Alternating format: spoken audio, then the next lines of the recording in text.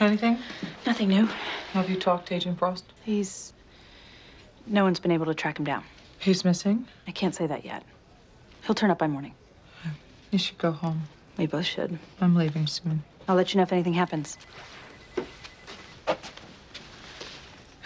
Good evening. You would not believe the day I've had. I'd tell you about it if I could talk about it, but a bunch of stuff happened today that I can't talk about, so I guess I should stop talking about it. But the truth is, I'm so strung out and wired on caffeine, I can't even tell what room I'm in.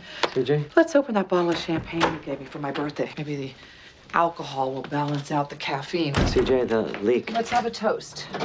One final toast before I leave the White House with my perp walk and leg irons. So here, you open it. I'll take out your eye with one. CJ. Fine, I'll open it.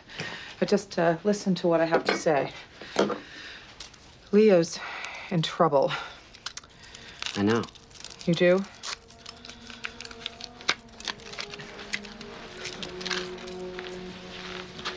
I got a lawyer. What?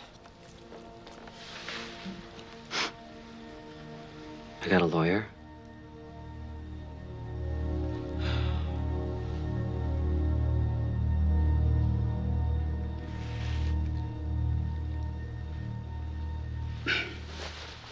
I did it.